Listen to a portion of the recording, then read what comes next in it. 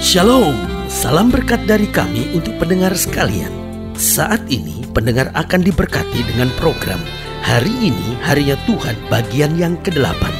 Sebuah program rohani tentang doktrin Alkitab yang menolong kita untuk semakin tertanam dalam kebenaran firman dan bertumbuh dalam kemuliaan bersama hambanya Pendeta Gilbert Lumendo STH. Banyak orang merasa doktrin Alkitab sebagai sesuatu yang membingungkan Tetapi tahukah saudara bahwa doktrin Alkitab intinya adalah memahami Alkitab dengan benar Dengan pemahaman yang sistematis Sehingga kita terus dapat tertanam di dalam kebenaran firman Sehingga kita terus bertumbuh di dalam kemuliaan Allah. Buka hati saudara sekalian untuk menerima berkat-berkat firman-Nya hari ini dalam kehidupan ini, maka kita dapat melihat sebetulnya ada banyak jebakan yang ada di sekitar kita, yang jika kita tidak hati-hati, kita dapat terjebak dan akhirnya kita terikat dan kemudian kita hidup di dalam penderitaan. Nah, kalau kita mau jujur, maka kita dapat melihat ada begitu jebakan-jebakan banyak di sekitar kita. Yang pertama yaitu jebakan-jebakan agar kita menjauh dari Tuhan. Ada saja hal-hal yang membuat kita terjebak dan kemudian membuat kita jauh dari Tuhan. Contohnya orang-orang yang bekerja, akhirnya pekerjaan menjadi begitu meningkat, meningkat, meningkat dan awalnya dia tahu pekerjaan itu datang dari Tuhan, tapi kemudian karena dia sudah diberkati dan pekerjaannya meningkat, tanggung jawabnya makin berat, apa yang terjadi kemudian? Bahkan dia tidak sempat punya waktu ke gereja, dia kemudian tidak punya sempat waktu berdoa, dia tidak punya waktu lagi untuk baca Alkitab, akhirnya tidak punya waktu lagi juga untuk datang dan pelayanan melakukan sesuatu buat Tuhan dan ujung-ujungnya hidupnya makin jauh dari Tuhan. Berkatnya datang datangnya dari Tuhan, tapi kemudian jebakan-jebakannya menjebak kita, menjerumuskan kita, lalu kita jauh dari Tuhan. Yang kedua, kalau kita bicara tentang jebakan-jebakan dalam kehidupan, ada juga jebakan-jebakan untuk kita hidup dalam dosa. Awalnya kelihatannya, ah ini kan cuma temen, orang bilang, kamu kan udah punya istri, kamu sama wanita itu terlalu dekat, ah enggak temen kok, gitu ya kan. Awalnya cuma teman-teman-teman, lama-lama terjebak dan perjinahan terjadi. Bahkan di dunia pelayanan bisa terjadi kok. Ada orang yang merasa ah enggak ini kan cuma konseling, ini kan cuma sharing, ini kan cuma ya saling berbagi kebetulan. Ya saya ngerti sedikit tentang persoalan yang dia alami, persoalan dia itu sekedar soal bagaimana menyelesaikan hutang-hutang dan kebetulan ya saya bisa bantu dia, ya saya bantu. Kita kan sudah seiman. Awalnya baik, kemudian jebakannya akhirnya menjadi terlalu dekat, menjadi terlalu dekat, menjadi terlalu dekat. Perselingkuhan terjadi, yang wanita ceraikan suaminya, yang pria ceraikan istrinya istrinya dan akhirnya mereka justru mengadakan kejahatan terbesar dalam hidup ini. Masing-masing bercerai dan kemudian menikah lagi sambil berkata ini yang Tuhan kehendaki. Kemarin itu kita salah nikah dan itulah kejadian-kejadian yang ada. Bagi saya sederhana hanyalah jebakan-jebakan kehidupan yang menjatuhkan kita sehingga kita hidup dalam dosa. Yang ketiga kalau kita bicara jebakan, yaitu jebakan-jebakan kehidupan ini untuk kita tertarik pada penyembahan berhala. Awalnya banyak orang pikir, ah enggak kok ini cuma iseng kok baca apa kata bintang? Ah ini kok cuman iseng gitu. Ya ngelihat garis-garis tangan. Enggak kok bukan ramalan. Cuman ngelihat aja masa depan bagaimana. Cuman pengen tahu ya kan? Lama-lama lebih dalam lebih dalam lebih dalam ya kan? Ah enggak kok ini cuman pengen sehat. Belajar yoga. Saudaraku yang kasih dalam Tuhan tahukah saudara? Yoga itu bukan bagian dari olahraga. Yoga itu bagian dari penyembahan agama lain. Karena itu sebagai hamba Allah saya mau ingatkan orang-orang percaya, anak-anak Tuhan, jangan mau terjebak apa pun alasannya untuk tertarik pada penyembahan berhala, baik melalui yoga, baik melalui tenaga dalam, baik melalui ilmu perana dan segala sesuatunya. Kita pegang saja firman Tuhan, itu yang menyelamatkan dan menguatkan serta membuat hidup kita diberkati. Haleluya. Dan yang keempat, jebakan-jebakan dalam kehidupan juga adalah jebakan-jebakan untuk hidup kita akhirnya memiliki hati hati yang jahat. Awalnya ya dia memang nyakitin saya, saya nggak boleh deket sama dia. Akhirnya mulai ada dendam, mulai ada kebencian, akhirnya mulai nyumpahin orang. Sebagai hamba Allah saya mau ingatkan buat saudara, mari kita jangan sampai terjebak karena jebakan-jebakan kehidupan ini datangnya dari iblis dan akhirnya merancangkan kita untuk masuk neraka. Tapi kalau kita waspada, kita berjalan dalam kebenaran, anugerah Tuhan menyelamatkan kita kita menang dan melihat kemuliaan Tuhan dinyatakan. Haleluya. Selamat datang dalam program kita hari ini harinya Tuhan. Sebuah program rohani yang kembali mengingatkan kepada kita betapa pentingnya kita menjadikan firman Tuhan sebagai dasar kesalahan hidup kita. Karena selama kita menjadikan firman Tuhan sebagai dasar kesalahan hidup kita, langkah-langkah ke depan kita penuh dengan kepastian, kemenangan, berkat mujizat dan perkara-perkara besar. Haleluya. Dan dalam program ini kita memang sedang membahas tentang tidak awas tidak hati-hati, tidak waspada. Itu sebabnya Yesus katakan dengan tegas bahwa berdoa dan berjaga-jagalah kamu supaya kamu jangan jatuh dalam pencobaan. Roh memang penurut, tetapi daging lemah. Saudaraku, iblis tidak akan pernah datang dalam kostumnya sebagai iblis dan berkata aku iblis. Tetapi apa yang terjadi? Dia selalu datang dengan kostum yang bermacam-macam. Untuk apa? Menawarkan yang indah, menjebak kita dan akhirnya mengikat dan membelenggu kita. Kita waspada, kita hati-hati. Roh Kudus menolong kita senantiasa. Haleluya. Nah, saudaraku yang kasih dalam Tuhan, dalam pembahasan kita tentang tidak awas, kita mau sama-sama belajar dari 2 Samuel pasal 20, 2 Samuel pasal 20, ayat yang ke-8, ayat yang ke-8 sampai ayat yang ke-15.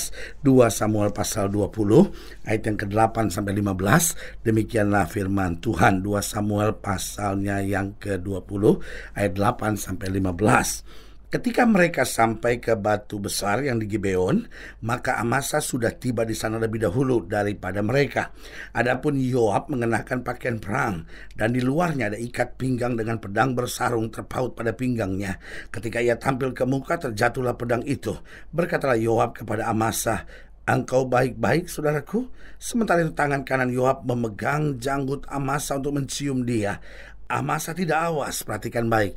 Amasa tidak awas. Dan saudaraku yang kasih dalam Tuhan, Yoab sudah memegang pedang. Meskipun pedang itu jatuh, harusnya Amasa lebih hati-hati. Harusnya Amasa lebih awas, harus waspada. Tetapi apa yang terjadi ayat ini berkata Amasa tidak awas terhadap pedang yang ada di tangan Yoab itu. Yoab menikam pedang itu ke perutnya sehingga isi perutnya tertumpah ke tanah. Tidak usah dia tertikamnya dua kali sebab ia sudah mati. Lalu Yoab dan Abisai adiknya terus mengejar Seba bin Bikri dan seorang dari orang-orang Yoab tinggal berdiri dekat mayat itu sambil berkata, Siapa yang suka kepada Yoab dan siapa yang memihak kepada Daud, baiklah mengikuti Yoab. Dalam pada itu Amasa terguling mati dalam darahnya di tengah-tengah jalan raya. Ketika orang itu melihat bahwa seluruh rakyat berdiri menonton, maka disingkirkannya mayat Amasa dari jalan raya ke padang, lalu dihamparkannya kain di atasnya, karena dilihatnya bahwa setiap orang yang datang ke sana berdiri menonton. Dan setelah dijauhkannya mayat itu dari jalan raya, maka semua orang itu berjalan terus mengikuti Yoab untuk mengejar Seba bin Bikri Seba telah melintasi daerah semua suku Israel menuju Abel Bet Maaka dan semua orang Bikri telah berkumpul dan mengikuti dia. Tetapi sampailah orang-orang Yoab lalu mengepung dia di Abel Bet Maaka. Mereka menimbun tanah menjadi tembok terhadap kota ini dan tembok ini merapat sampai ke tembok luar. Sedang seluruh rakyat bersama-sama dengan Yoab menggali tembok kota itu untuk meruntuhkannya. Lihat saudaraku yang kasih dalam Tuhan, Amasa tidak awas sehingga akhirnya nyawanya menjadi korbannya. Saudaraku yang kasih dalam Tuhan, ini sebuah pelajaran penting bahwa Tuhan mau kita siap sedia. Nah, pertanyaannya bagaimana supaya kita bisa siap sedia di tengah dunia yang jahat ini dan penuh dengan berbagai jebakan ini? Yang pertama, kita harus siap hidup dalam tuntunan Roh Kudus. Karena Alkitab dengan tegas berkata, "Ujilah segala sesuatu dan peganglah yang baik."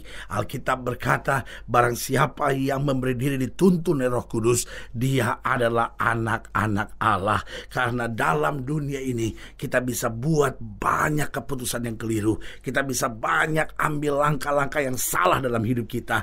Tetapi ketika roh kudus menuntun kita, Alkitab berkata kita akan dituntun pada kehendak Allah. Karena daging dan darah tidak punya tempat dalam kerajaan sorga.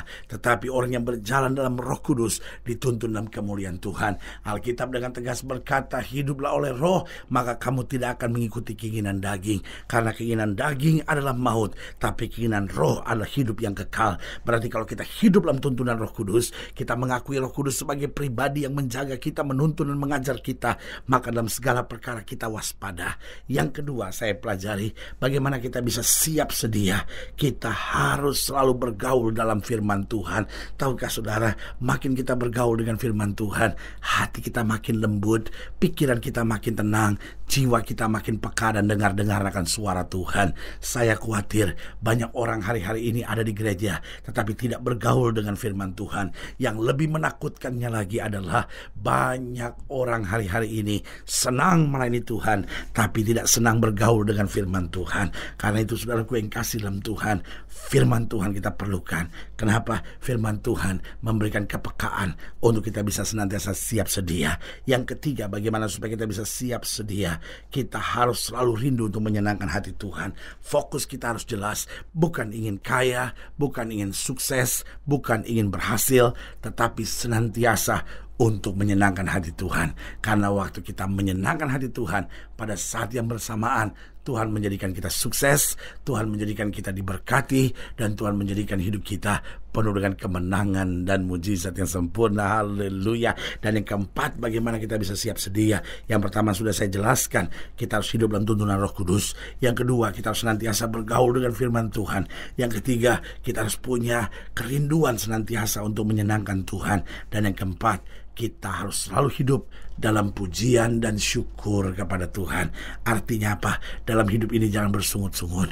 Dalam hidup ini jangan selalu lihat hal-hal negatifnya. Karena lama-lama hidup kita pahit terus, hidup kita sakit terus, hidup kita kecewa terus. Tapi kalau kita belajar memuji Tuhan, kita belajar bersyukur, kita tahu kok Tuhan tidak pernah beri batu untuk anak-anak yang minta roti. Selama hati kita bersih sama Tuhan, kita tahu Allah turut bekerja dalam segala perkara untuk mendatangkan kebaikan. Karena itu Paulus dan Silas dalam penjara penjara, tapi mereka memuji, mereka bersyukur kepada Tuhan. Dan apa yang terjadi? Sendi-sendi penjara goyah. Mereka hidup dalam kemenangan. Haleluya. Sudah gue yang kasih dalam Tuhan, jika ingin dilayani lebih jauh, hubungi kami melalui telepon, hubungi kami melalui surat, kunjungi website kami. Karena kami ada untuk membawa Bapak Ibu sudah senantiasa lebih dekat pada Tuhan dan mengalami kasih kuasa mujizat yang luar biasa. Secara khusus melalui program ini juga saya mau berdoa buat setiap orang yang sakit, setiap orang yang berbeban berat, karena saya percaya bahwa bagi Allah tidak ada perkara yang mustahil. Nah saudara-saudara yang didoakan secara khusus, boleh taruh tangan kanan sudah di dada dan kita akan berdoa. Mari kita berdoa. Bapak dalam nama Yesus hamba doa buat yang sakit, hamba doa buat yang berbeban berat, hamba doa untuk setiap mereka sedang menghadapi masa-masa yang sukar. Karena hamba percaya bahwa bagi Allah tidak ada perkara yang mustahil. Secara khusus juga hamba doa buat mereka yang taruh tangan kanannya di dada. Yang mungkin hari-hari ini sedang tidak waspada, tidak hati-hati, tidak siap sedia dalam langkah-langkahnya. Bapak hamba doa di dalam nama Yesus Tuhan Jama. Bahkan mereka yang sudah terjebak dan jatuh dalam dosa. Hamba doakan di dalam nama Yesus Tuhan angkat kembali, beri semangat kembali untuk kami berjalan dalam sukacita dan kehendak Tuhan. Di dalam nama Yesus kami berdoa. Haleluya. Amin. Saudara yang kasih dalam Tuhan, kita sudah berdoa. Ingat, Allah tidak pernah lalai menepati janjinya. Inilah saatnya buat kita untuk bangkit bersemangat, bersuka cita menghadapi segala perkara. Karena kita tahu Yesus hidup, Yesus berkuasa, dan selalu menyediakan yang terbaik buat anak-anaknya. Doa saya menyertai saudara. Sampai berjumpa pada program berikut. Dan jangan lupa, jadikan hari ini harinya Tuhan. Haleluya.